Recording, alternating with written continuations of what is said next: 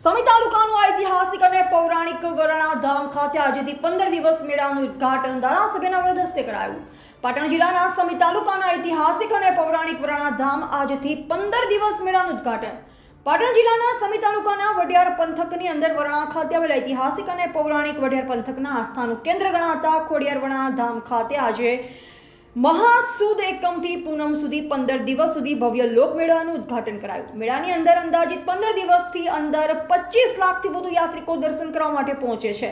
ઐતિહાસિક અને ભવ્ય મેળાની અંદરમાં ખોડિયાના દર્શન કરવા સમગ્ર દેશ અને વિદેશની અંદરથી લોકો વરણાધામ ખાતે પહોંચે છે. આજરોજ મેળાનું ઉદઘાટન પ્રસંગે ચાણસમાં રાધનપુર વિસ્તારના ધારાસભ્ય સહિત વરાણા ગામના સરપંચ અને તલાટી કમ મંત્રી અને વહીવટી અધિકારીઓ સહિત ભારતીય જનતા પાર્ટીના કાર્યકર્તા અને ગ્રામજનોની ઉપસ્થિતિ વિશેષ ઉપસ્થિતિમાં ભવ્ય ઉદ્ઘાટન કરવામાં આવ્યું.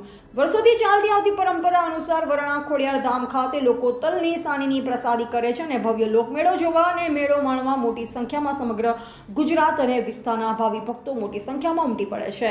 રિપોર્ટર અનિલ રામાનુજ રાધનપુર. આપ જાણો છો કે વર્ષોની પરંપરાગત રીતે આ વઢિયાર પંથકમાં જેને ભાતીગળ મેળો આખા ગુજરાત નહીં, પણ ભારતભરમાં એ એની નામના છે, મા ખોડિયારના આશીર્વાદ લેવા. આ ગુજરાતમાં ને ભારતભરમાંથી લોકો આવે છે. માના ચરણોમાં ભેદભાવ જેવું કાંઈ ના હોય, ભલાવાણા. અઢારે આલમ દરેક સમાજના, ક્ષત્રિય સમાજના લોકો માના આશીર્વાદ લેવા આવે. એમાં અહીંયા ચાણસમાના ધારાસભ્ય કોંગ્રેસના છે. અમે આ અમારા બધા માણસો અમે બીજેપીના છીએ. પણ માના ચરણોમાં જાય જેમ કે મંદિરમાં જાય એટલે આપણા જે જૂતા છે, બૂટ છે, એ બારે ઉતારીએ. એવી રીતે માના ચરણોમાં કોઈ ભેદભાવ મારા મનથી જણાતો નથી, પણ આવે એને દરેકને માં આશીર્વાદ આપે છે.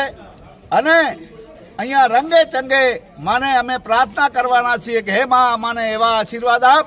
આ અમારો જે શુભ કાર્ય છે, ઉત્સવ છે, મેળાનો પર્વ છે, એને રંગે ચંગે પાર પાડે એવી પ્રાર્થના. બોલો ખોડિયાર આજે ભાતીગઢ મેળો આજથી શરૂ થવા જઈ રહ્યો છે. ત્યારે દરેકે દરેક આ વિસ્તારના તમામે તમામ આગેવાનોને ખૂબ ખૂબ શુભેચ્છાઓ પાઠવું છું.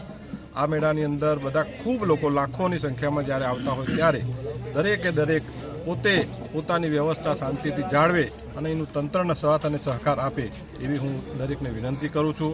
અહીંયા મને જે આમંત્રણ આપ્યું છે, સ્થાનિક સરપંચશ્રી તેમજ તમામે તમામ આગેવાનો જે આમંત્રણ આપ્યું છે, એ તમામે તમામનો ખૂબ ખૂબ આભાર માનું છું.